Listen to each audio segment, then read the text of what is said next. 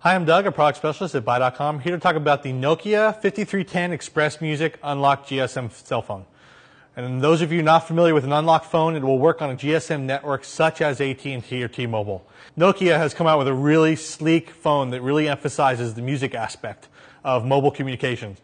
As you can see, it is very sleek. It's a nice black color. It also has these buttons on the side that are dedicated to playing music. So this is almost a phone slash MP3 player.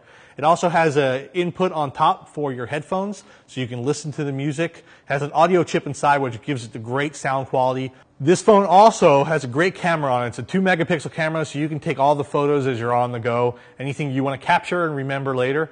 It also has great cell phone uh, features such as Bluetooth. You can get your email in here. You can surf the internet. The other great thing about this phone is it's the ability to use a micro SD card to expand the memory. So you can load up a bunch of music on the SD card, pop it in, and you have your music on the go. So check out the Nokia 5310 XpressMusic Unlocked GSM cell phone, now available here at buy.com.